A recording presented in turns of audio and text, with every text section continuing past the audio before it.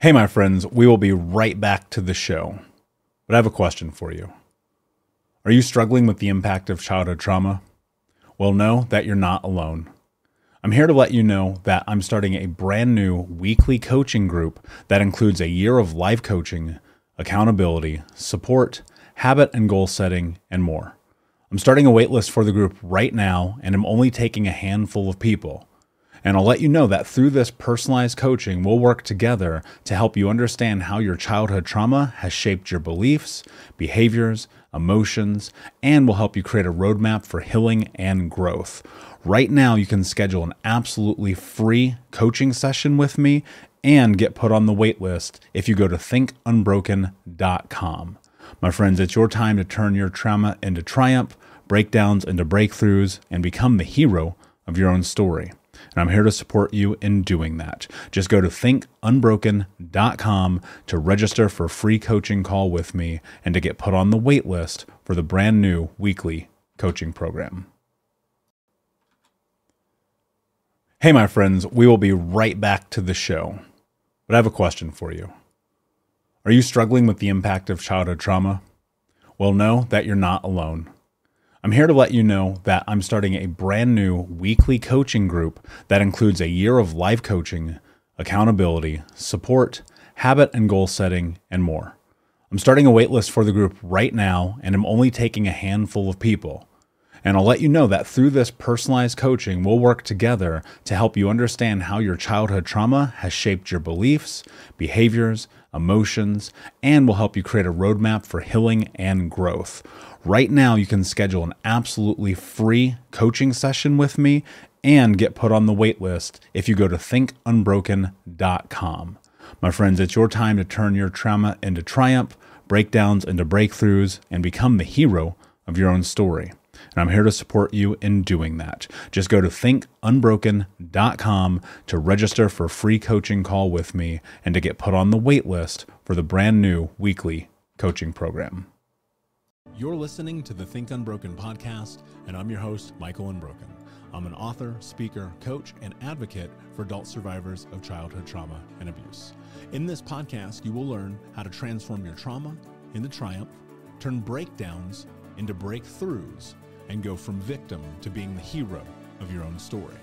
You can learn more at thinkunbrokenpodcast.com, and of course, check us out on Apple Podcasts and Spotify at Think Unbroken Podcast.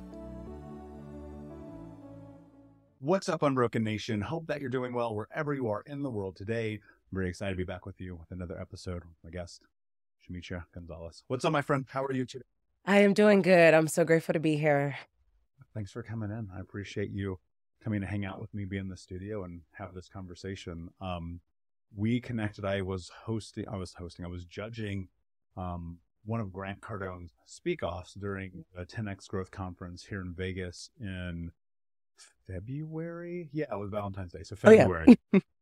and you were competing with uh, a few powerhouse speakers, a couple of which yeah. I know personally, and just in a couple of minutes, your story was powerful and captivating. And I was like, this is someone I want to sit down and talk to and have a conversation with because you do now is beautiful, but the path that you've led to get to where you are is one that I think warrants a, a deep conversation. And so, yeah. thank you so much for being here. Oh, no, you're welcome. I appreciate it. Yeah, for sure. Yeah. So, let's start here. What's something that I need to know about your past to understand and know who you are? Hmm. So, for myself, I would say that I was a small town country girl with a really big dream. Um, that meaning I had been through a lot of adversity, but a lot of what I did was in innocence. And so I didn't know that I was born with crack in my system. I didn't know that I was poor or adopted or a foster child. I just knew I loved life. And it was this thing inside of me that just allowed me to be who I was. And that was energetic, fun, smart, um, very outgoing and I love to talk. Like people's favorite thing to tell me was like, Shametria, shut up. Like during the movies, during that person. But that is what allows me to be who I am now is that innocence and that that love and that energy that I always had uh, through all of my adversities, through everything I'd been through. I was born in the country. I played outside. I didn't wear shoes. I was very humble, but I also didn't know all the bad stuff that people put on me as I got older. So I, I actually did have in my mind a pretty good upbringing. Although to other people, you know, when I tell my story, it's a bit much for them. Sometimes I even have to tell them, you know, take a second to just, you know, take a deep breath because you might be triggered by some of the stuff that I've been through. But, you know, I'm here for you and it's a safe space for us to talk about this because I don't tell everybody. So when I have those conversations, I always lead with that because I know other people may not have that strength of what I have that have been, or maybe they never shared their story, or maybe they don't know how to, you know, even accept their story. But I found out my story later down the line from other people. I always thought I was great. Yeah. Yeah. There's what comes to mind, and I don't think contextually it fits, but this is what yeah. comes to mind uh, the idea that ignorance is bliss, right?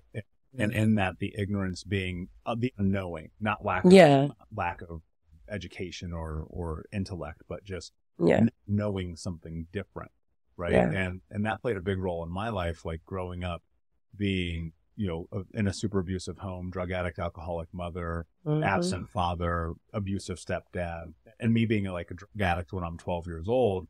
I look at that and I'm like, well, I didn't know any, right? Yeah. It's the ignorance of the society that I grew up. In. Wow and what was fascinating in my journey, I, I, like started to slowly unravel things. I was like, why is my life a disaster? And it's like, you look at the dominoes, you roll them backwards. You're like, well, yeah. this is problem.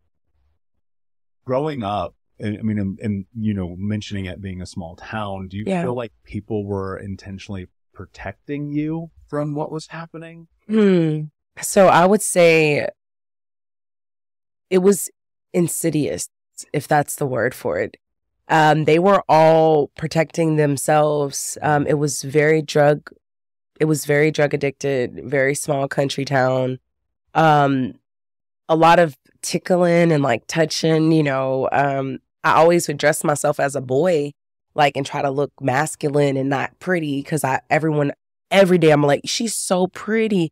I was a mixed breed girl, as you, you know, I'm black and Spanish, but on one side I lived with all black people and then on the other side I lived with all Spanish people. So I was the different person in each group. So I got a lot of attention. And because I was always living with different families and kind of here and there, people I never had that protection of a mother cub to like or a mother to protect her cub to be like, you know, don't do this or, you know, don't touch her like that or don't do like I just was free. So it just didn't feel right. A lot of the stuff that would happen to me. So when I think of protection, I think the church protected me. I think the school protected me. Um, I grew up in Texas. Texas has an amazing school system. They have an amazing social work system. They have an amazing system for um, children athletic wise. I was an athlete too. So those systems protected me. My family, and I love and adore them. They, you know, my mom was in and out of my life. My dad tried to come and get me when he would be sober both of my parents were addicted to drugs as well. I was born with crack in my system. So from the womb, again, I didn't really know nothing was wrong with that, but I knew that I was different. And that's people would make jokes like she got, you know, that's why she got all that energy. And I'm like, what are you talking about? Or my grandmother would say stuff like, you hot or you fast. And I'm like, I didn't know what that meant. Mm-hmm. I just, but as I got older, I started to see that I was a beautiful young girl. I was curvaceous. I had long, pretty hair. And that brought a lot of attention. And with that type of attention, it actually shut me away from everybody. And I would try to cover myself and be as small as possible. So that was actually harder for me than just to be me. But I did that because I didn't feel protected. I felt like predators were all around me at all times, no matter what shelter, what house, what family side of the family. Because if you're not there all the time, you're just a, a little girl. Like they don't have love for you. They don't know you. So that that's kind of where that goes. But I definitely will say I I appreciate the systems that were put in place in Texas that I, I emancipated myself at 15, you know. That's because my social worker told me how to get out the system. Because I did that, I was, you know, trafficked. I know part of my story is that I was trafficked. And um, that's because after I emancipated myself, there was no more social workers looking after me. There was no more, you know, kind of going back and forth to, they would give us, they would, uh, basically the judge said I would have to um, have a job and provide for myself. That was it though. So if you can prove that, you're grown legally in the court's eyes. So I signed myself into school, got a job, and you know I was I, I started kind of speaking up a little bit more, and that's when I got you know introduced to some women that brought me into the life of being trafficked, and that's when the drugs started. I never did drugs because I saw what it did. I, I I didn't want that in for my life. I was a student athlete, but without anybody watching over me, I everything that like spiraled out of control was because I did not have somebody to just care. Yeah, we're we're gonna go down that path a little bit deeper in, in a moment. Yeah. I want I want to go to something that, and this is this is for me kind of a personal journey that's been both simultaneously difficult, but like the very thing that's probably led me to where I am today. Yeah. And that's growing up biracial. And one of the things Mm. that people, generally speaking, unless you grow up biracial, you don't understand Mm-mm. is that you live in two different worlds. yes. And so here on one hand, I'm like growing up in the hood, uh, around and, you know, very, like, really imagine, I mean, drugs, alcohol, Yeah. gambling, stealing, you know, Mhm. the whole thing. And then on the other side, it's like, I've been called both black trash and white trash, which is really weird. Man. so like growing, growing up biracial is incredibly tumultuous experience. Yeah. What, what, and this is for me. yeah, So yeah. on one hand, I have my grandmother who's white, and I've shared this many, many times on the podcast. Yeah. was very racist. I wasn't even allowed to have Mm. black people in my a copy of Hitler's autobiography, Mein Kampf, in our kitchen, right? And that's Kampf. My uncle's in the Aryan Brotherhood. Jesus. I mean, it just keeps going and going. Yeah. And, going. and so I obviously had a massive identity crisis as a kid. That's why I started doing drugs when I was 12. Wow. What was growing up biracial like for you? I would say growing up biracial for me was a lot of name calling. Um, wetback on one side of it, um, blackie on the other side of it. Um, the way they did it, I laughed at it because I didn't see that it was mean or deceitful, but I didn't know Spanish people could be racist against blacks. Now, I mean, for myself, we're the same. Like, I literally saw two different cultures. Um, the white families that I was with, I was born, like I said, with a lot of complications, and I was dyslexic and I had all these problems. So I would get more checks than the other kids. So I was always the kid who everybody wanted. In context checks, I know what that means. Yeah, yeah.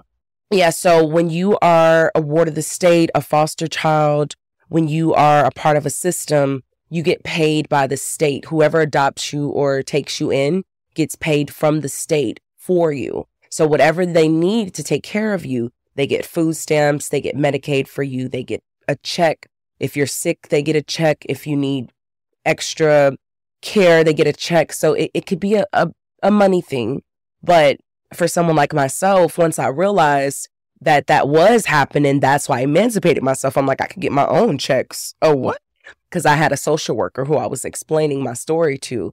And she was like, if they're not taking care of you, you're very smart, you're beautiful, you're talented, you're a great athlete, you're on student council. You can take care of yourself better than someone else just taking your money.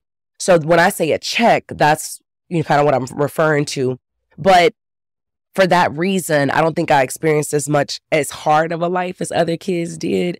But I always felt over sexualized, one, because, you know, black and brown women are a little bit more curvier. Like I'm a Texas girl. I was, you know, really voluptuous.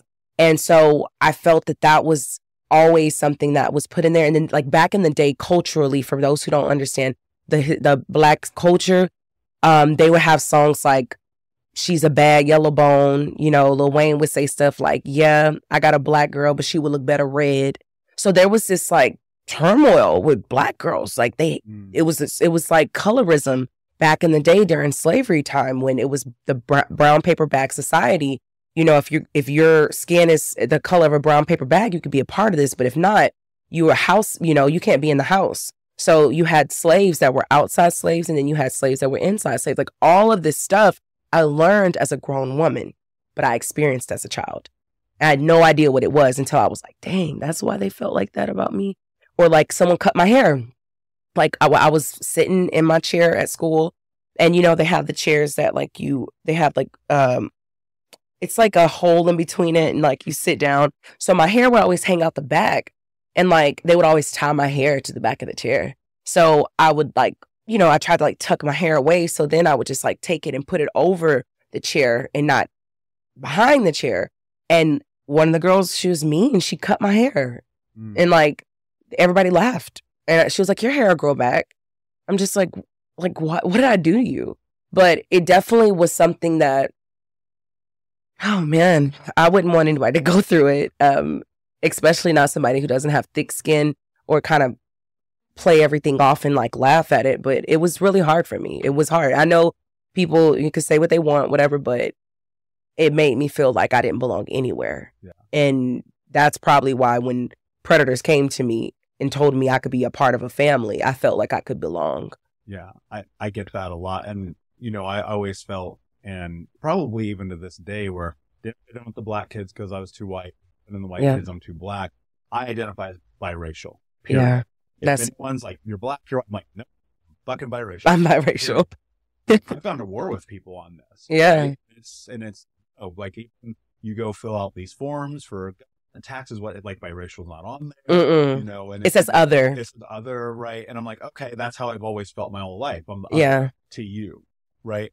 And what I- Wow. one of the things that is is near and dear to my heart is is just having this conversation for people who are biracial because we as we continue to progress in society there will just be more and more and more biracial multiracial people That is true. and and that is a really beautiful thing but it is. you know being you know the kind the, the cornerstones of this experience it's, Yes. it's been a war. Like Yeah. that's the thing I, I I try to convey to people is like they don't understand unless they are biracial Yeah. what it's like to be ostracized over something you don't have control of. 'Cause At all. least if and I, I say this in jest, but I'm if you're Yeah. a full breed. You don't know what you're, you don't Right. That's brutal. You Right. don't know what it's like to wake up in the morning and have this massive identity crisis Yeah. when you were young and, and those moments like that girl did is absolutely tremendously horrible. And I think about that. It's like we're easy targets. Yeah. There's a lot of reasons why you're an easy target. Yeah. Foster kid, adopted, drug addict, alcoholic, mother, parents. Yep. Being this person who is still striving. So you probably have a little bit of like nerdiness and Yeah. overachiever to you.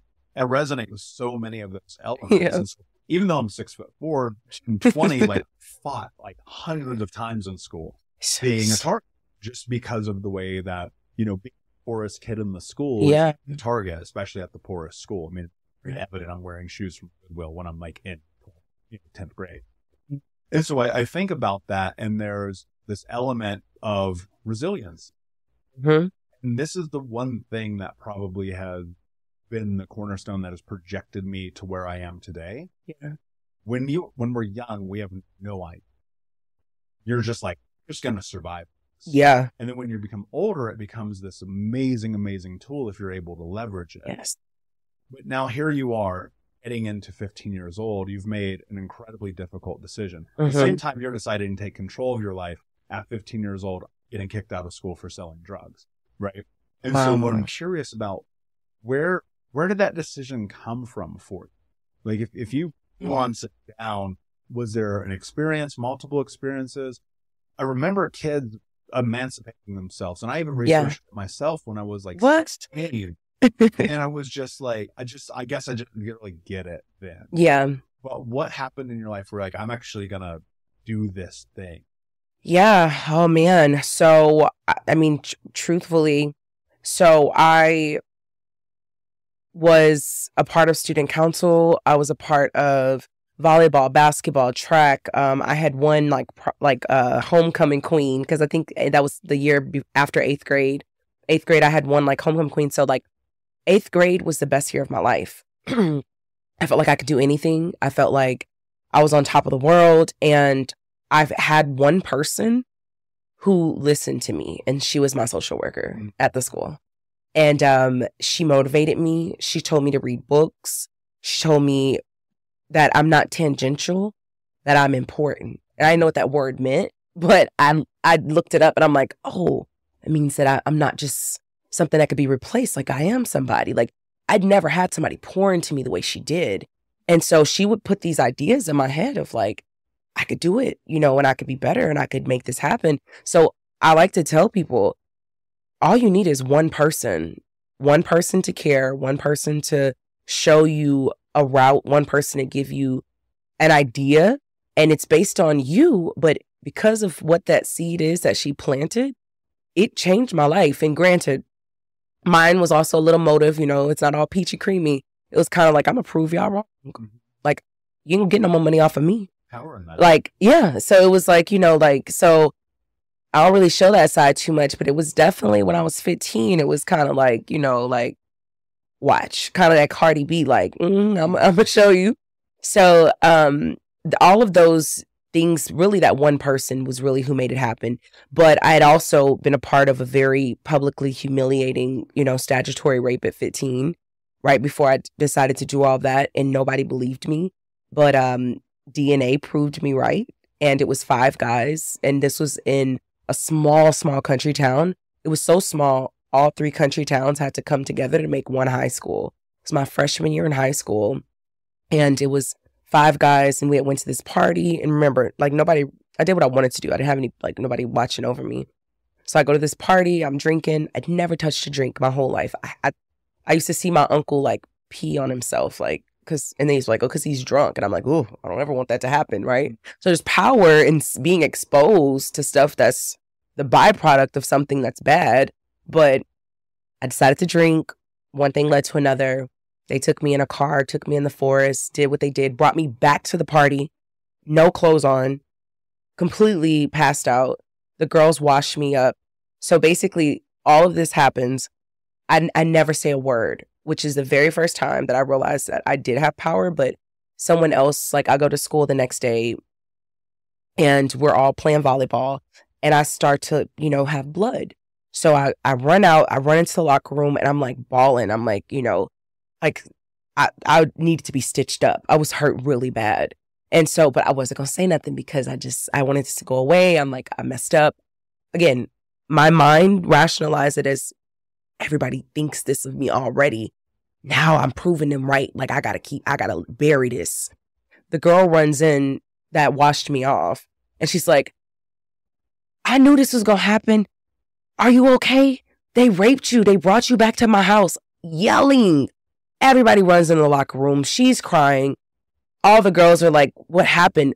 Some of the girls, their boyfriend, two of them. So they want to fight me because they think I'm, I'm like, so there's something that a school teacher has to do, which is called being a mandated reporter. So she, one of my, my coach has to tell the principal. My principal has to tell the nurse. The nurse has to call the police. The police have to call my foster parents, which at the time was one of my grandmothers, um, who had took me in. And that right there, kind of like, I got to get out this town. Mm. I got to get away from everybody. And I'm ruined. But I appreciate them now that I look back for being a mandated reporter because they got me the proper medical attention that I needed. I had to get 26 stitches. Um, I still sometimes wake up and think that somebody's on top of me. Like I have these vivid dreams where it's like I'm asleep, but I, I wake up and I can't get up and it's like somebody's on top of me. And the only thing I could do is like go back to sleep. And it happens every now and then. But, you know, that stemmed all of my disbelief in myself and also my belief in myself. So it made me feel like one, I have to run away from this small town. I have to like I, I messed up their life and I don't know how to fix that because they got persecuted prosecuted. The woman who threw the house party went to jail for over a year.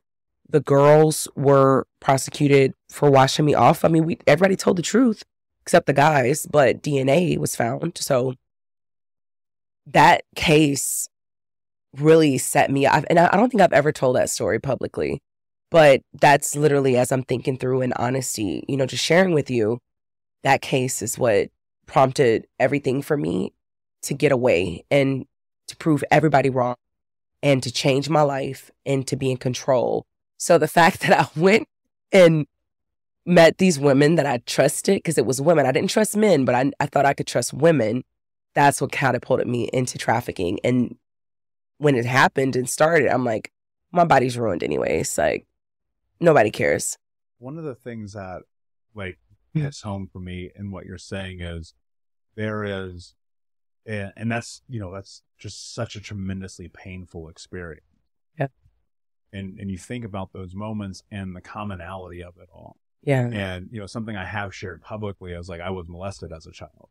And you see this happen again and again and again and in communities like ours. and Yep. Families like ours and schools like ours. And it's like, but why? And then you go, hey, well, this is both a generational and genetic and an energetic experience Yeah. that precedes us.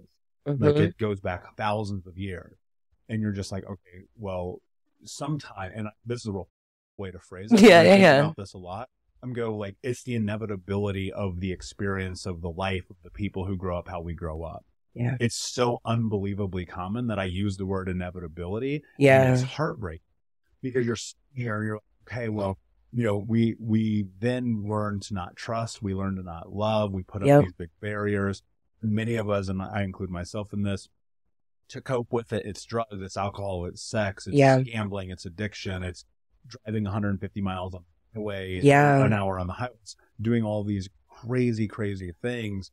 And yet, still, there's this element for some of us where you come out the other side of it with resilience. Yes. But that takes a long time. Years. Right? My It whole takes life.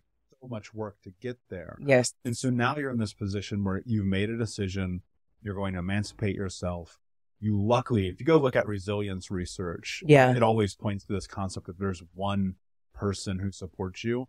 The chances of you finding success are exponential versus some of these kids who have no one. And so even one counselor, I mean, that's a big deal. And I always Yeah. point to, you know, one of my teachers, Mr. Hollingsworth, who still listens to the show sometimes. Cornerstone, because he sat down with me one day. He goes, You're not supposed to be Yeah. right. And he just saw something in me Wow. when I didn't, right? And that, Yeah. was, that was a really, really big deal. And so now here you are, you're facing a reality that is almost impossible to make tangible because you're, there's no way that you don't become dissociated from something. Yeah. Right. There's no way you, right? Obviously. Yeah. But the thing that I think about is the autonomic response that our bodies have to that amount of stress is for you Yes. to disappear. Yes. It's how you cope. Yes. Was this a part of the experience for Yeah. you? What was that? So I had to, I knew that this small, I, I looked at the people around me, everybody in that small town, either you go to college, you make it out, or you work at a local place. Um, I feel like if I wouldn't have went through that, I would have been one of those girls who would have stayed there and kind of went into the same trajectory of what I saw other people doing because I didn't, I didn't experience anything else. When that happened to me, I knew I had to run far away because one, I didn't want to be associated with that that story, that that I didn't want people to know that about me, and then I also didn't want to be hurt. I didn't want to die. I, I really thought that they would fight me or try to hurt. Like I'm that. These were Division One A state champions that had already went to college and came back for homecoming. Four of them lost their scholarship because of decisions they made.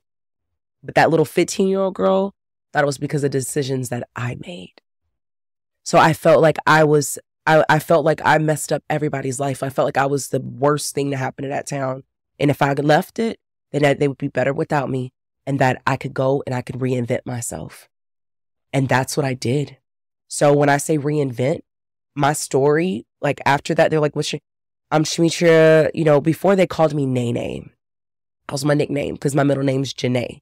So I changed my name. I'm like, I'm going to use my birth name, Shametria Gonzales. I'm going to emancipate myself. Now I'm legally grown. I'm going to get a job. Sonic Drive-In's right across the street from my school. I'm going to go to Sonic and get a job. I'm going to sign myself into school. What school? I don't know. I'm going to pick a school based on where I could get it, stay in a shelter or somewhere. So like, I got a bus ticket to Dallas, and that was it. How far away was Dallas from that town? Dallas. So this was a, co- small town called Garwood, Texas, and it's like 45 minutes outside of Houston. So honestly, to me, like Dallas was like the big city, you know, right? Houston was still too close, so Dallas was the next big thing in the, in Texas. So um, I and my sister also went to UNT. I forgot that part. So I felt like I, I would have some support there. So I have an older sister. My mom got pregnant at 11. She had her at 12. And my older sister has a PhD. She has, um, she's married. Um, she has three kids, a husband, same family lineage. Like that's big for us. That never happens. No one else that I know in my family has one father of their children, is married, educated, and went through adversity like she did. So in a way, I was kind of following in her footsteps. But um she tried to take me in for a little while and then she kicked me out. I was troubled and I didn't I, I was I was hurt and I did not know how to cope with that. So I was just me I was angry. And like she didn't know how to deal with it. She was in college. She was in UNT at the time, UNT. So when she put me out, I was homeless and I worked across the street at my school at the Sonic Drive-In. And I would go to school early during the day because we had athletics first period, which is like 645. I worked till like 1230, 1 o'clock in the morning. So I made a way, you know, the person who owned it, sometimes he would let me sleep in the back. Like this was a struggle for a while. And then eventually I got up on my feet and I saved enough money to get a roommate and to stay with somebody. I think it was like back in the day was Craigslist. So, you know, it was before the PadSplits and Airbnbs and all like it was like you meet people on the internet on Craigslist and they can rent out a room in their apartment, you know? So that's what I did. And I mean, it was it was okay. And then like I said, at 15, you know, the question you initially asked me was like, I think it was without that, I wouldn't have had a hard enough why to be able to want to supersede and overexceed and prove everybody wrong. But then that also catapulted me into this way of still seeking, you know, suffering from abandonment, suffering from rejection, suffering from survivor's remorse. You know, I, I survived this tragic, you know, situation. And now I'm here, and like all these other women that have been, you know, assaulted, have like it was all this stuff in my head. So, um, these women started coming up to me, and this is where I say, remember the first time I trusted a woman, she was my counselor, she was my social worker. She gave me good advice. So it led the way for me still seeking some type of help, but moving and letting go of everybody I knew. I was vulnerable. And these women would come every day, like, you know, they would come in a nice car. They would be like, you know, how much money you making up here, girl? And I'm like, like a hundred dollars a day for a 15 year old going to on 16. That was good. And um I still was, you know, in school, I would my no pass, no play. So I played sports. So I had to pass my grades. I didn't care about school. I didn't care about education. But I felt being a part of a team made me have some type of validity. It made me feel important. And I was always a talker and very outgoing. And their why wasn't my why. My why was I gotta get to college. I that's all I knew. I was a country girl. So go to college, get a scholarship, play a sport, change your life, you know, mm-hmm. get a job. That's all I knew. So I was kind of living that I was doing good for a while, a couple months. And these women, they kept coming and they were always in a nice car. And finally she was like, you know, you need to come with us because we know your situation. Like you can't be sleep, you know, sleeping in somebody's house and, you know, here and there. Like you need to focus on school. So I was like, makes sense to me. And then she's because I, I I didn't really I remember I was good with my independence. So then she said, You need family. You need somebody to love you. You need protection. That got me. Yeah. There's we're, we're gonna go into that, but yeah. there, there's a thought I just had. Um there is a a huge amount of trafficking that happens in America Yeah. that people have no idea about. No. Like it's absolutely insane. Um, I, I had a conversation with Tim Ballard, um, privately uh, recently because Unbroken. We we donate we donate money to Operation Underground Railroad, Yeah. which helps traffic children Yes. around the world. And when you look at the statistics, it's shocking how often that happens right here in America. And grooming comes in these situations. Low Yes. income children, Yes. children who are in foster cares, being adopted, working at fucking Sonic drive through, Mhm. sleeping in the back. You know, you're a perfect target. Yes. And, and the grooming that they play is what you're about to get into is this thing about Yes.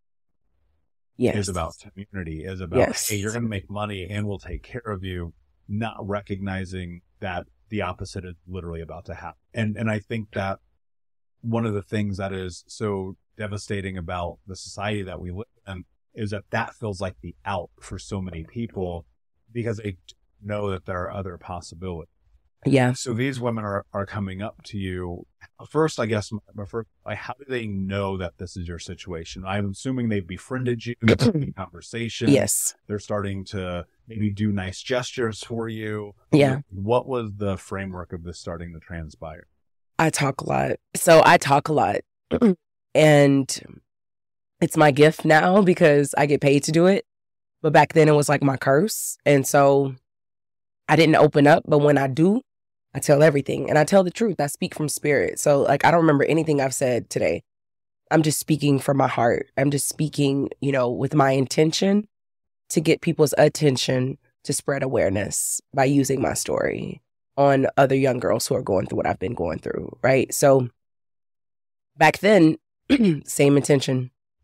I had these women coming up to me and um they didn't know at first. They just were like they first of all they saw me there every day. Like what student works every day?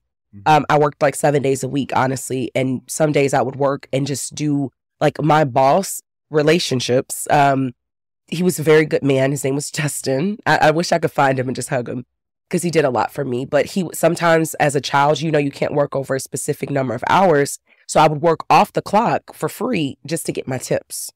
I would just run the the food just to get tips. So because I didn't want to be on the clock getting paid and then he gets in trouble. But I worked every day. So that was the first thing. The second thing was I think that now that I understand energy, there is a light in me and there's a light in certain individuals like myself that attracts everything. And it's the happiness, it's the bubble. Like I was on rollerblades. Like I was always really happy. like it just, I didn't carry depression with me. I didn't care. So it wasn't even that they saw that. It was when I opened my mouth and I started to, cause like this is over a course of months. That's what I want people to understand. And I'm a young girl. I'm barely getting by, but I'm I'm, I'm pretty good at what I, am what I'm doing. I found a system that works.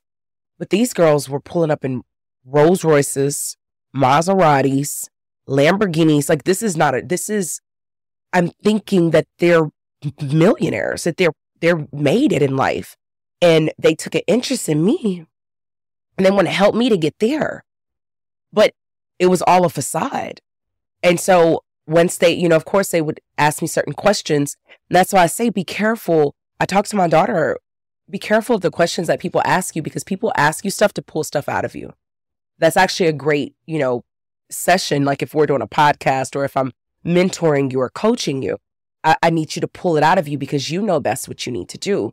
But some people are predators and they're just looking for prey. Mm-hmm. And one thing you say will trigger them. And now, once they're locked on you, they're locked.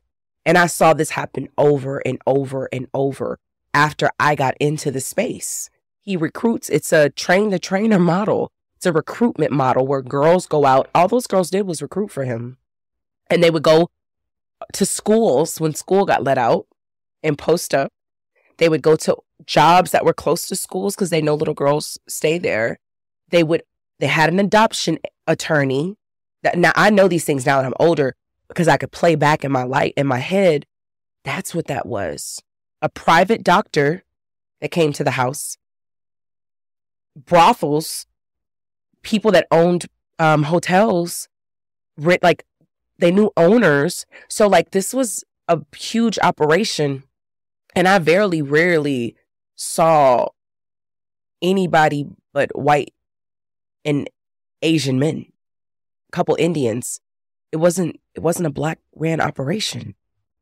So I don't know how to explain that to people because all culturally they see black as kind of like pimping. You know, there's this it's in music that men can pimp women and like that's not what that was. This was a systemized this was a, a system that operated like a business. He told me, he said, so basically, not to go too far into it, but I'll get back to the business part of it and how the operation was ran once I got inside of it. But the grooming, they groomed me for months. They would give me a hundred hundred dollar tip. Like I'm thinking I'm like I'm making money. So I'm like, first of all, now I'm trusting you because you're giving me money. Second thing was there were women. The thing that got me, I told you, they said like you need to be part of our family. They didn't tell me nothing. Like I never, and then I didn't think to ask the questions. Hmm. So that's how that's what got me. And then once I met Snake, his name is Snake, and of course his name is Snake. Uh, of course his name right. is Snake. Should be the first time. that should be the first time. But um, he was he looked like your complexion.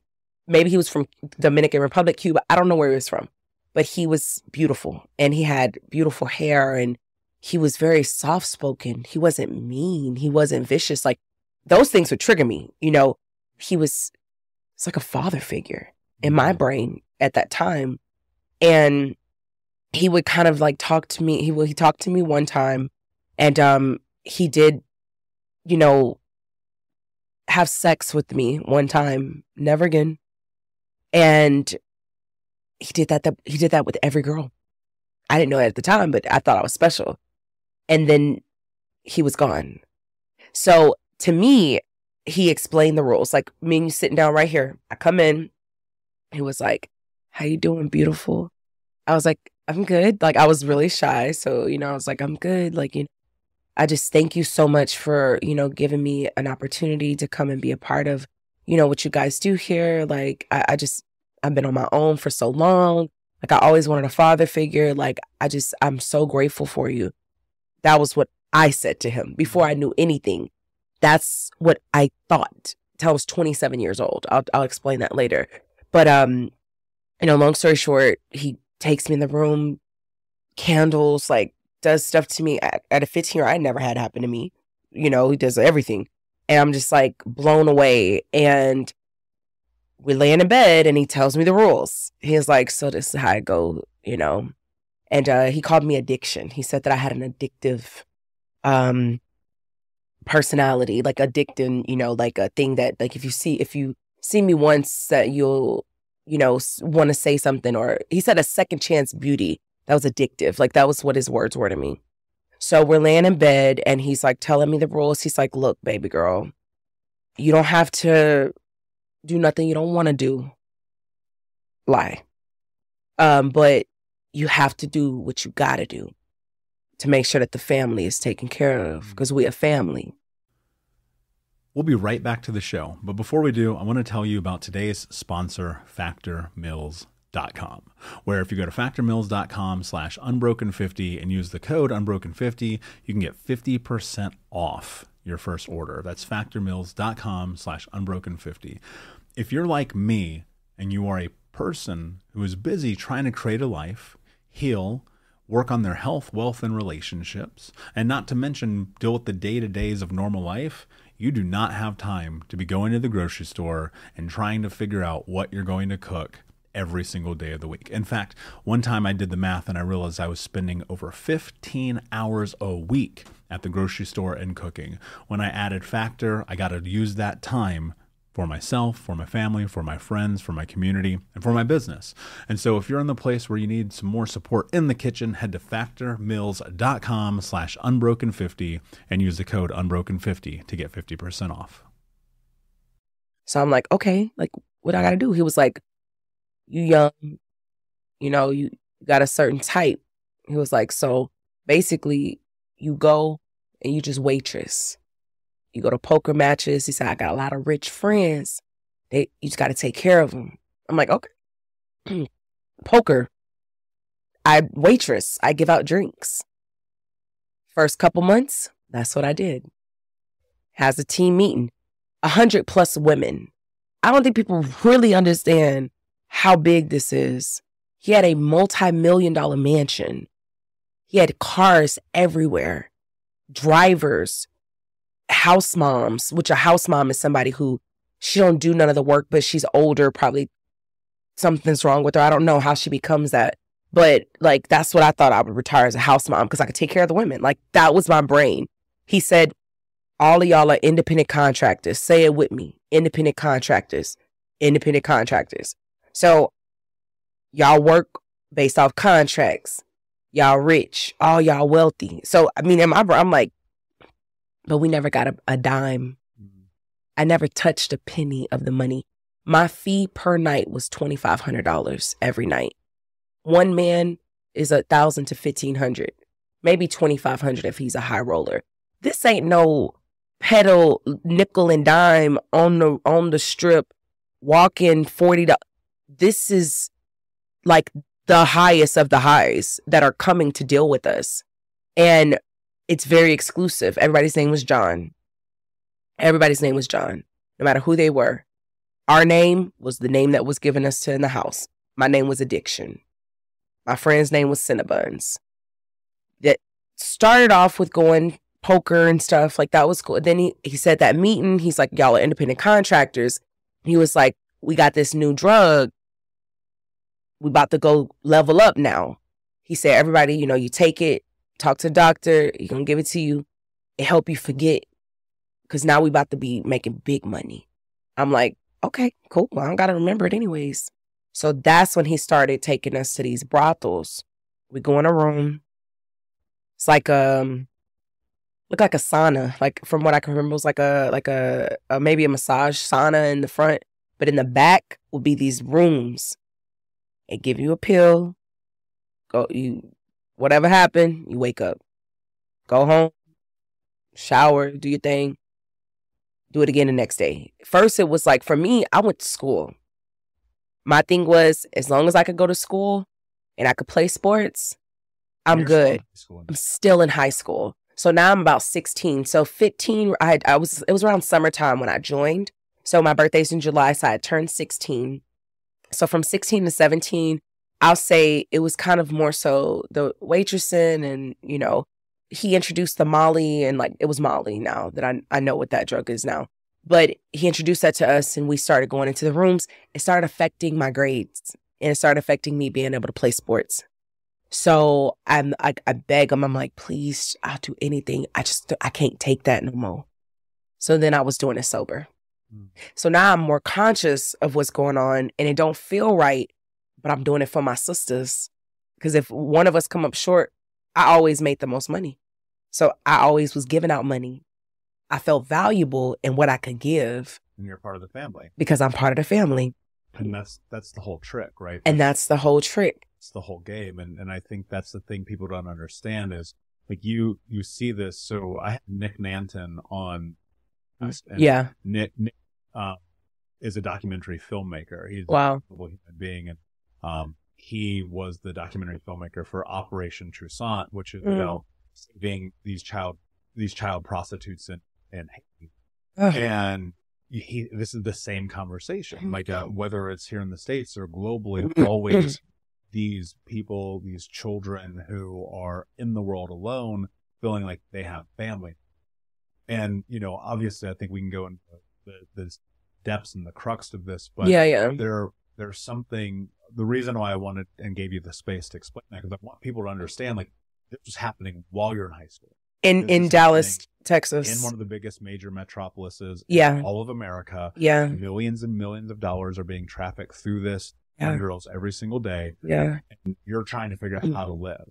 Yeah. And and making no money off of this thing that's being you've got I mean, I'm sure politicians, celebrities, Yeah. athletes, people who are famous walking in and out of these rooms and you you're walking away with nothing.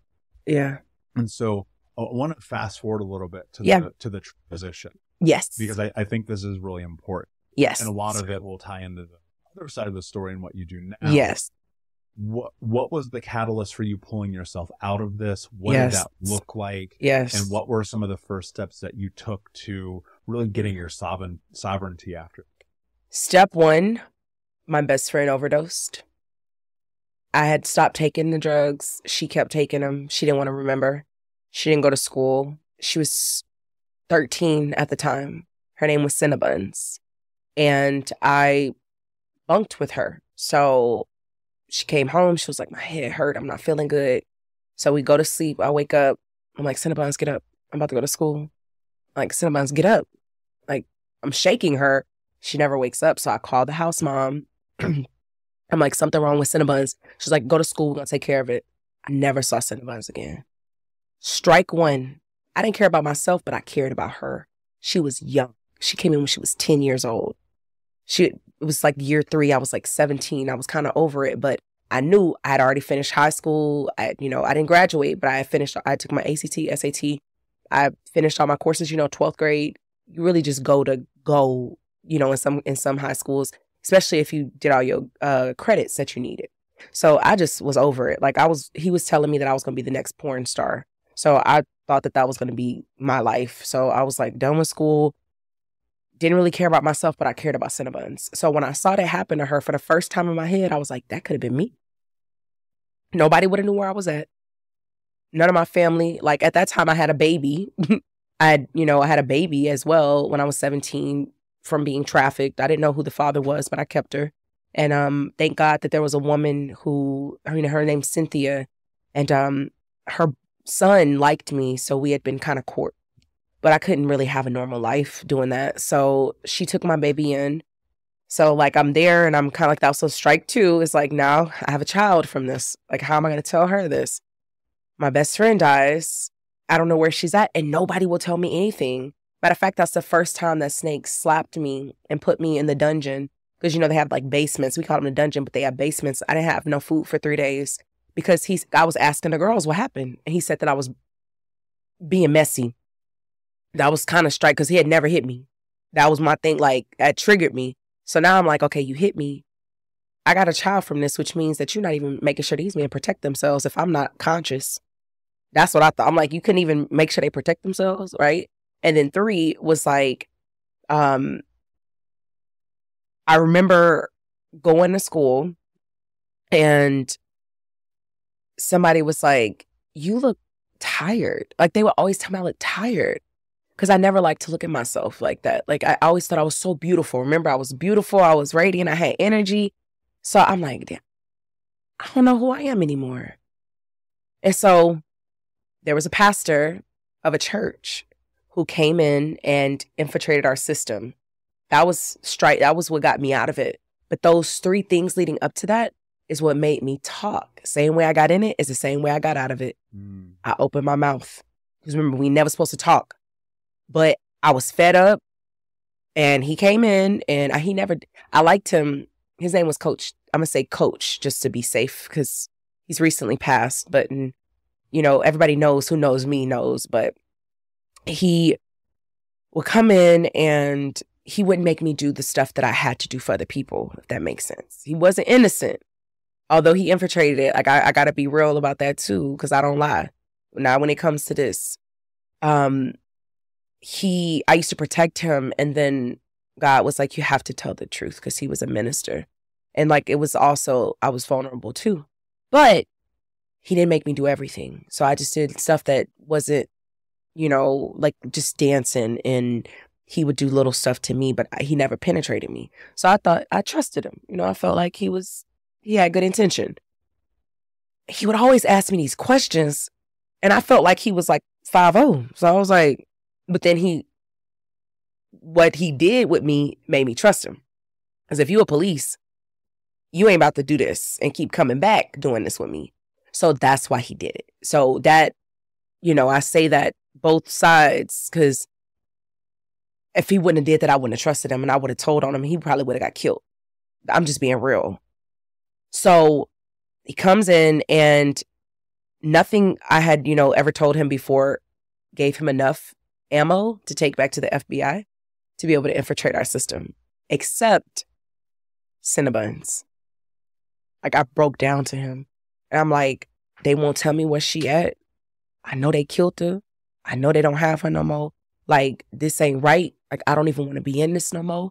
But I'm I'm branded. Like I have this huge snake on my arm and all of the girls have it. And so I've I've been trying to you know talk to a couple of the girls and find them because we don't know each other's names. I don't know their birthdays. I don't. I just if I see their face, that's why I'm out so much, putting my face out there, telling my story.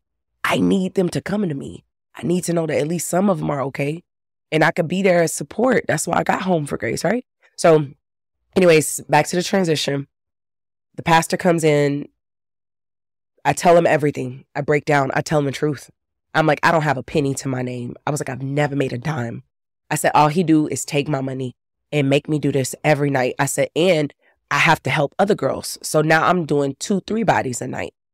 That's like $6,000, $10,000 sometimes. And I was a good talker. So people would give me more, but they're not giving it to me. They're giving it to him and he's telling them that he's taking care of me. But they know what's going on. So they really don't even care. But after talking, you know, just like me and you talking right now, I had people that was my client for three years. It wasn't just always boom, boom, leave. They actually, I really feel in my heart, deep down in the most weird way, because I was a child, that they cared. And some stopped coming. And that's how I knew they probably cared. But I tell the pastor what happens. I hear boom, boom, boom, boom, boom. They bust down the door. Everybody get on the floor. This part is always hard for me to tell because I was the informant. I didn't get a prostitution charge. Every other girl that was legally of age got a prostitution charge. They took their operational ring down as a prostitution house, as a brothel, versus a corporate business that was evading taxes, that was literally violating women, drugging us up, allowing men to come in and do stuff with us to make a profit. They blamed the women. And they hated me for that. They felt like, because eventually everything came out. Every, you know, everything unraveled. Snake was never to be found. So after all that, he's still probably outrunning operations. I'm not afraid of him anymore. He's a monster in my story. And if he ever were to see me or do something, then I've I've died spreading the truth, right? Not to manifest that on myself, but that's how hard I will go for this. Because you cannot get up here and say that and know the person who was over you that you looked up to as a god is still out there without being okay with the consequences. So, I, you know, I I broke the operation. Yeah, I talked too much. You know, it's it's funny because there you said monster. There's there's a I've, I've mentioned this many times on the show, but there's um, a horror film that I love that I watched when I was a kid, and effectively they said you talk about your nightmares, they lose power. And so much of the reason why I created this show and have put the space in for people to not only talk about like the practical things and how we change our life, but like yeah. the real truth in the darkness, right? because this level of vulnerability. And yeah, I mean, look, here, here's what I think about a lot. Like there are things that I know with certainty will change people's lives. And that's why we do this. And it's not easy, right? Having these conversations, sharing the truth. It's like people want to hide from this. They yeah. From the reality. They want to pretend we live in a world that we don't live in. Yeah. And I'm like, that's not true. We live in this reality. The one that you wish we lived. No. Not even close. I, I go look at at my my childhood, all the drugs I did, all the times running with guns and hurting people and mm. getting shot at by the cops and getting put in handcuffs and all the chaos that I was a part of. I was like, that was reality. And even like, you know, you said something about this made me think there's something in me that I know one day, like I'm probably going to cross paths with someone I did something really horrible to yeah. as a kid or vice versa. Yeah. Right. And I, I recognize that that comes with this territory. Yeah. But I've also accepted it because I know that even though that's a possibility, I believe because of the energy I put into the world, it's, it's less of a possibility than it probably ever could be. Yeah. Because of who I am. And I think yeah. that, you know, I, I always reference the alchemist. The universe is always conspiring it's my favorite book. Yeah, mine too. Book anyway. Yeah. And so for me, I look at and I I hold space for these conversations, knowing that there's one irrevocable truth, and that is that the truth sets you free. Yeah. And so even though it's difficult, and I know that we probably had people tune out halfway through this because it's so heavy. Yeah. I'm like, we're gonna have the conversation. Yeah. Because it's in that having that conversation that we get to change the world. Yeah. Now, I look at transition as being the cornerstone to successor. Yes. It's everything. There, yes. There's no time. And I tell people this all the time when I'm coaching them, like, if you're weary about making decisions about your life when you're scared and you're uncertain, that's the best time. Oh yeah. And so when I when my life changed forever after losing a million dollars and being, you know, 50,000 bucks in debt, 300 pounds, smoking two packs a day, like massive, massive rock bottom. It was in the transition 13 years ago that led to this moment, right? Led to, I mean, I can connect the dots. I did this thing that led to this thing. Right. Exactly. investing in Think Unbroken, which led yes. to you speaking on that stage and me seeing and being here was the decisions that we make that lead down the pathway. Yeah.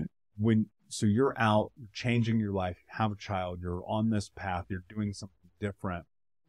The I would have to say, and I'm I'm gonna this is probably conjecture because obviously I don't know. Yeah. I'm going to assume that you had an identity crisis.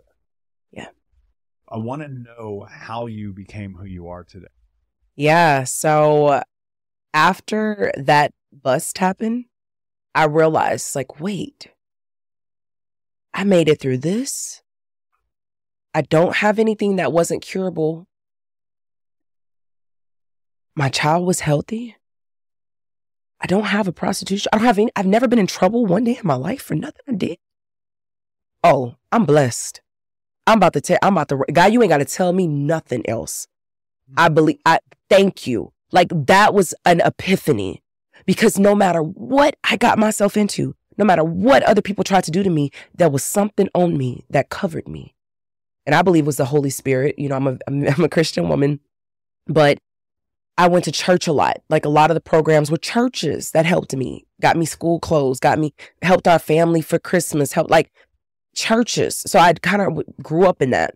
So after that happened, the guy who rescued me, um, the coach, had a church called God's Academy. And he says, Look, all that stuff he talking about, that porn stuff, because I was like, Look, I'm gonna do it for myself. Like, I still had a little bit, that's all I knew. So I'm like, I'm gonna just do it for myself. Cause, you know, he was like, You'll never do that again. God got you. Like, he helped you, he saved you for a reason. He was like, Look, I need you to, sh- your story is powerful. I need you to write your story to every college that's a HBCU. I'm like, What is that? He was like, it's a historically black college university. And they they specialize in having funding and helping people like you. I'm like. He was like, Don't you you play sports, right? You played sports. I'm like, Yeah, I play volleyball and basketball. He was like, Write every athletic director. Tell them your story. Tell them you'll come in red shirt the first year so you can get your high. I didn't even have a high school diploma, but I got a scholarship, which people think is funny. But I'm like, I shared my story. I wrote my story, copy and paste, emailed it to the athletic directors. He, of course, he did it for me. I just shared the story. He signed me up for FAFSA. And um, he was like, look, you go to college, it's the same situation. They pay for you to be there, free room and board, and you get to learn, and you get to be a part of a team. So I'm like, cool. I wrote my story. 28 scholarship offers came in over the course of the next couple months. I picked Southern University at New Orleans because they allowed me to come with my daughter and have in a one bedroom apartment. They provided security, which was an off guard security. Um, that was kind of like it was like campus security, but he would all you know he knew to look out for me and Avery in case somebody snake you know in case somebody try, want to hurt me or something. Like I brought down. This was not a small operation. This was huge. So, um, keep moving forward. Now my why is I got an opportunity. Full scholarship. Then I find out because I was adopted and awarded a state and all this stuff and been trafficked, they had scholarships for me that I get the money because I already got full academic scholarship and full athletic scholarship to pay for housing and, in school. So now I'm starting to get some money. I never, I didn't have money. So now I get to, I, like, I actually have thousands of dollars coming in from scholarship. And I'm like, people care about me and I get another chance at a new identity. So now I'm not addiction and I'm not Nene. I'm fully Shametria. For the first time, I get to step into that woman that you see today.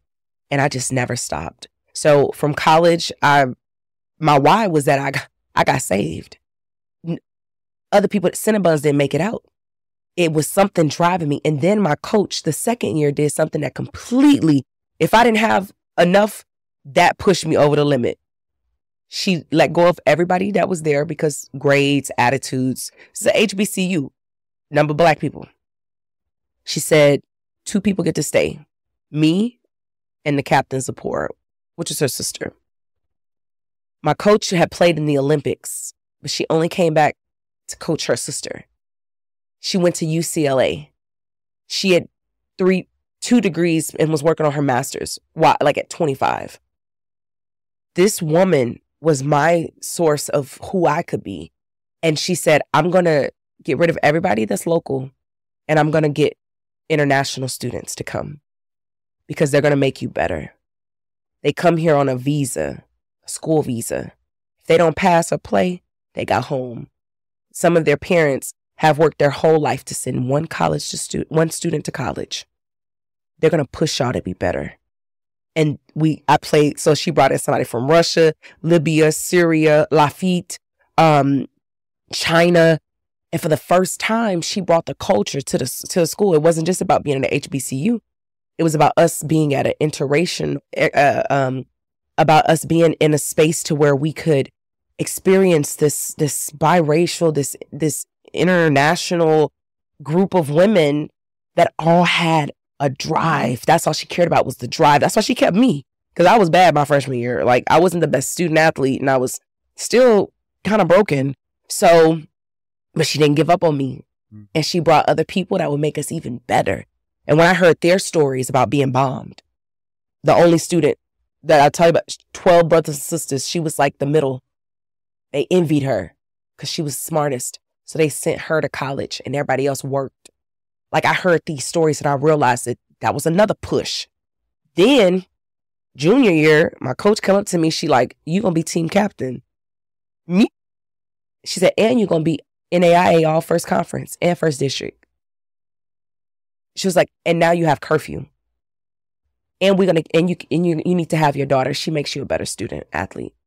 Cause I let my daughter go back and stay with the lady Cynthia again. I did those things. I lost 35 pounds. All conference. Exceptional captain. I even quit basketball. I was like, look, I'm just focusing on volleyball because we got something here. She got new coach of the year. And then after that, just to, you know, kind of catapulted, that's what created the woman that you see today, character wise, was the women that I played on that team with, was the, the transition of me getting out and finally being a part of something that really did matter. And that's the, that's the same family that you were seeking. I think about this all the time. I look at you, you know, you walked in the studio, you saw the of me and Tom, uh-huh. right? Tom Bilyeu, you know, over here, put them up yet, but there's photos of me and other incredible people who are they're like my family. Right? There are people who have ushered me into where I am. There are mm-hmm. people who support me, who push me, who tell me about possibility, yes. you know, who inspire me to want to be able to become whoever I can become. Mm-hmm. And and it's such a reminder of that I mean, you know, there there's something you have to reconcile about your experience. Yeah. In that it's the past. Yeah and you have to let go of this. And even there is a level of like, you have to forgive yourself. You have to have the willingness to do different things and live in a different capacity. And if you're willing to do so, you'll find that again, the universe conspiring in your favor. Yeah. Puts these opportunities in front of you. Yes. Like you have to take advantage. Yes. And you have every reason in the world. You know, it's why I wanted to have you on as like I sit and I think about all the time the people who make a tremendous number of excuses for why their lives suck. And it's not that you're not allowed to. Yeah. You're allowed to be the victim. I'm not yeah. taking that from anybody. Like you're more than welcome. Show up, be the victim. Watch your life continue to suck. Yeah. And it's like if you're just willing to do whatever it takes, your yeah. life will be different. Yes. And that's the whole game. I mean, statistically, people like you and I are not supposed to be no. You know, I, I, look at my life. My three childhood best friends have been murdered. Mm. I don't have a high school diploma or a college education. Wow. I've been able to do some really incredible things in my life. And it's just been because I was, I made a decision at 25. I was like, I'm not going to negotiate with myself anymore. I'm not going to play the victim anymore. I'm not going to allow people to integrate their beliefs onto me. Wow. I realize it's so much about how I think, feel, do believe that leads to the place of success of being able to seek my full potential and prosperity through showing up every single Yeah. through and and it's not that it's easy. Yeah. I mean it's not. Nothing about my life is ever simple. Never. I mean it's, it's a consummate battle of every day.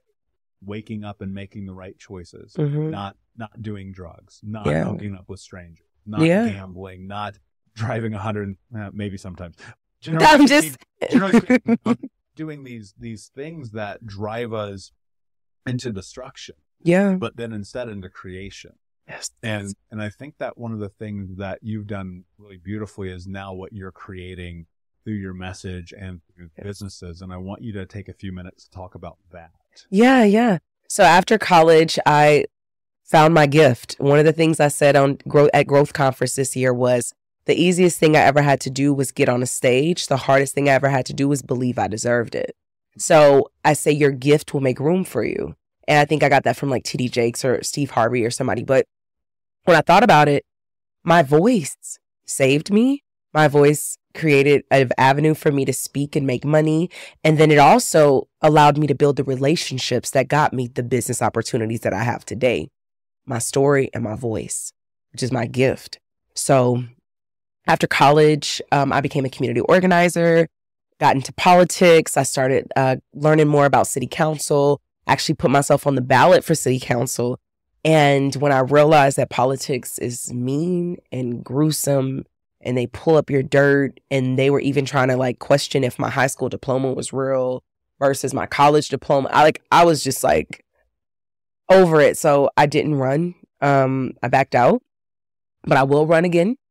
But I was I'll be ready. And at that point I hadn't fully stepped into my story and didn't I kind of was going off my accolades because you can get somewhere and forget who you are. So I was kind of like, okay, I got a degree now. Um you know, people know me. I got a, a boyfriend. Like I have a, a son with a baby that I know the man. That was a big deal for me. I know it seems like I was proud of that. Like, cause it had been so hard growing up.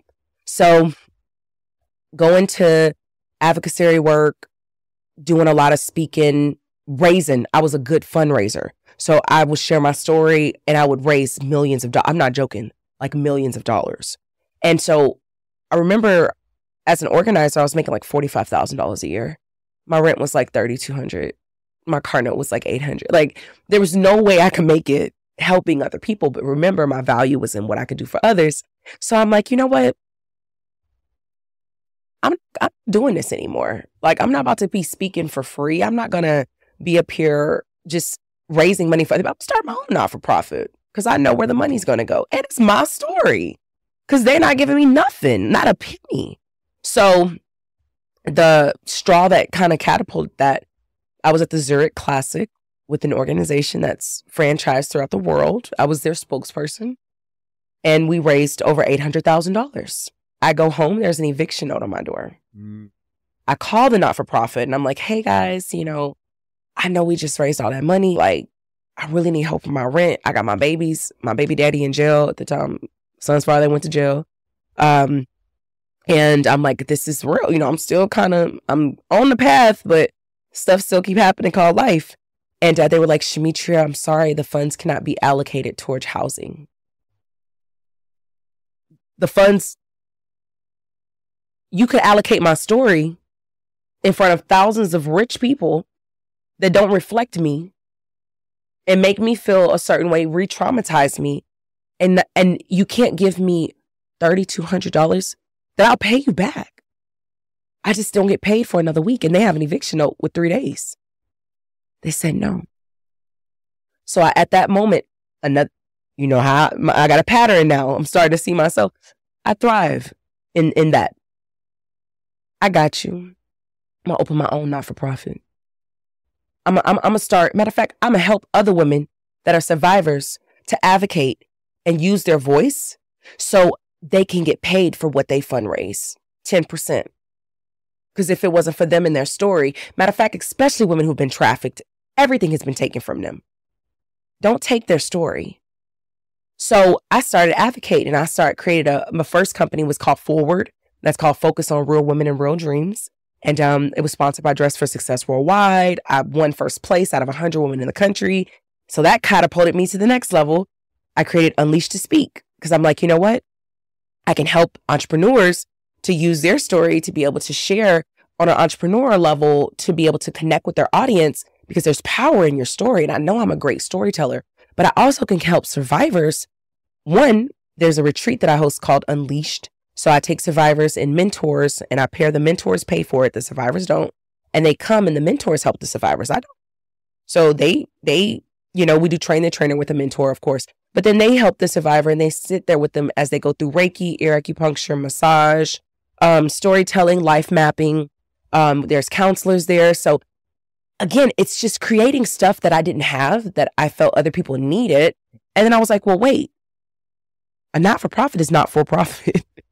I mean, I could pay myself a salary, but I'm, I'm still not making money. So I was like, I see Grant Cardone talk about you can make money with real estate. So I'm like, and I don't need a license. So I start wholesaling. So I'm like, I learned the wholesaling game and I do pretty well in that. And then I'm like, well, all my money's going back to marketing with this and it's hard. So what can I do? Let me get my license. That was the game changer. I got my license. I met Sophia Willits, uh, who was, I think I met her at like one of the 10X stages workshop with Pete Vargas. Cause I was still, another thing, I started investing into myself before I did anything. Those refund checks went to conferences. There was a guy named Tai Lopez. Mm-hmm. He said one quote that changed my life. He said, if you want to be rich, go where rich people are. And that's conferences. And I was like, oh, $2,800 refund check, Lisa Nichols. And he said, go VIP. Mm-hmm. So I always went VIP, which is one of the things with Grant Cardone and Pete Ferguson. The reason I even got to be seen as much as I did by the people who were judging and that were doing this and to hear my story over and over is because I paid for Pat Quinn's signature talk. I paid for Pete Ferguson's 10X stages. I went and went to growth conference, you know, and I was a part, I was on, you know, the virtual stuff with Grant Cardone, but I really didn't understand until everything came together mm-hmm. that all of those years of paying and reading and books and conferences and trainings got me to be able to be the business owner that I am today. And then getting the licensing, which is being actually equipped with the tools to do the deals is what gets me my commission checks and then being able to advocate for other women because I don't want anybody to be used like I was. I want them to know the power of their story. I want them to understand that there is so much power in standing up for yourself and being able to negotiate that you can do that, especially even if you're a survivor. You don't have nothing to your name, you have your story. And specifically for women who have been trafficked. Other survivors, I get it, but women who've been trafficked, they never got paid for what they did. So helping them advocate and advocating when I was an organizer, 13 laws got changed over the course of those years. That is what I'm most proud of because I used my story to advocate at the local, federal, and state level to be able to change legislators' heart. Yeah. So that's another part of what I do. So that's kind of my world of like what I do. I'm I um sell real estate, but I specialize in multifamily because of my mentor she knew a way to get properties and she would tell me if you do a transaction with a residential person that's once in a lifetime. But if you do a transaction with a multifamily broker or investor they're going to come back and they're going to come back. So and then building relationships and then I'd already worked on personal development. So it really was this array of just work dude and investing. And that's what it always is yeah. showing up for yourself when you have nothing yeah. When you're dead broke. Yeah. I, I mean, I invested in my first training when I was 50 grand in debt. And I was mm. worse than this. What the Wow. You know, it's interesting too. I didn't even file bankruptcy. I got myself out of it. and, and it's like when you're, you have decisions to make. And I'm not saying it's easy. no. repoed. Yeah. I was dead broke. I was borrow. I literally borrowed money to go to therapy. Yeah. Whatever it takes. I mean, there's a post on Facebook from like eight years ago where I was like, can somebody give me 150 bucks? I need to go to therapy.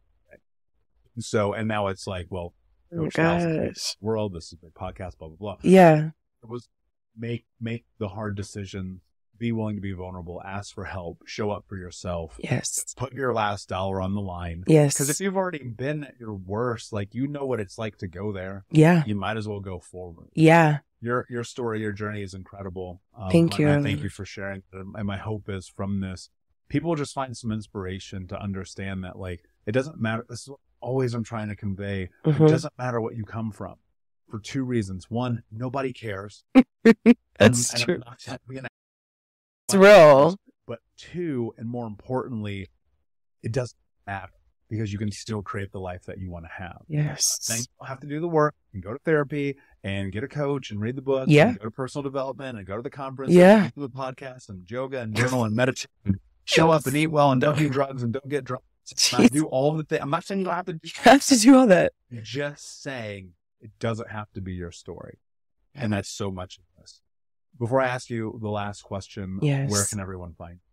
Yeah, so everything that I do is branded under Shametria Gonzales. I love who that woman has become. I love who I'm becoming as I continue to grow. And um rather it's podcast, my um website, um, all of my endeavors, um, ShametriaGonzales.com. If you're interested in anything that I do with the women, um, we do have a house for women who have been sexually trafficked. We house them. Called Home for Grace. Uh, it's located in Arizona. Can't say the location, but um, any volunteers, anybody, you know, want to learn more about that, it's homeforgrace.org or shametriagonzales.com. And that's that's where I play at. Those two areas is everything for me. Yeah, guys, and go to thinkunbrokenpodcast.com. Look up Shametria's Yeah. episode. We will have this in the show notes plus more. So head over to thinkunbrokenpodcast.com. My last question for you, my friend. Yes. What does it mean to you to be unbroken? To be unbroken to me is it's not how you start, but it's how you finish. And then to say that my finish line is going to always be my start line. So if I am broken, that means I've been I'm finished for the moment, but I can start again. I think that analogy just uh, it's what comes to my heart. Um, I started off very, very tragically and hard. And I was just recently watching um, Anna Nicole's story. And it was so untypical of an American story because it didn't end well. And that's not how we end stories in American just movies, whatever. And I realized in that moment, like, wow, I'm I'm writing my story. And I get to be the person who takes the pen and directs how it's going to end by the choices that I make. So if I'm ever broke or if I'm ever broken down or break down and it happens, just remember it's not how I start, it's how I finish. And every time that I start over again and get to the, or every time I get to the finish line, it's a new start. Something else gonna come. So be on your P's and Q's and, you know, you can make it. Just, you have to keep going and don't, don't let your past get you. It it's, starts in your mind. So to just be conscious of that. Beautifully said, my friend. Thank you so much for being here. Unbroken Nation, thank you for listening. Please like, subscribe, comment, share, tell a friend. And remember, you share this, you're helping us end generational trauma, turn breakdowns to breakthroughs, transform trauma into triumph, and help people become the hero of their own story. And until next time, my friend, be unbroken. I'll see ya. Thank you so much for listening to Think Unbroken. Please share this episode with someone who could use it and help us move forward in our mission of ending generational trauma in our lifetime. And if you would, please take five seconds to pop on iTunes or Spotify, hit that five star, leave a review, and you can also reach out to us on social at Michael Unbroken or at Think Unbroken. And of course, you can check out our YouTube channel at Think Unbroken. Thank you for being a part of Unbroken Nation, my friends, and until next time, be unbroken. Hey, my friends, we will be right back to the show. But I have a question for you. Are you struggling with the impact of childhood trauma? Well, know that you're not alone. I'm here to let you know that I'm starting a brand new weekly coaching group that includes a year of live coaching, accountability, support, habit and goal setting, and more. I'm starting a waitlist for the group right now, and I'm only taking a handful of people. And I'll let you know that through this personalized coaching, we'll work together to help you understand how your childhood trauma has shaped your beliefs, behaviors, emotions, and will help you create a roadmap for healing and growth. Right now, you can schedule an absolutely free coaching session with me and get put on the wait list if you go to thinkunbroken.com. My friends, it's your time to turn your trauma into triumph, breakdowns into breakthroughs, and become the hero of your own story. And I'm here to support you in doing that. Just go to thinkunbroken.com to register for a free coaching call with me and to get put on the wait list for the brand new weekly coaching program.